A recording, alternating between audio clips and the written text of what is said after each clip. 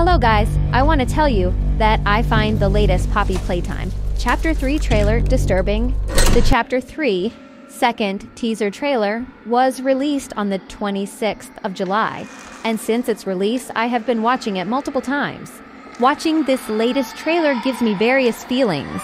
Feelings that range from feeling scared to feeling angry. Although the previous Chapter 3 trailers and teasers have been scary and creepy, the level of intensity given by this second teaser trailer is a whole lot higher.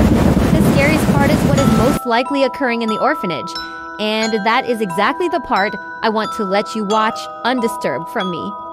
Listen to the fear and sadness and let me know how you feel and think in the comments below. Take care and stay safe.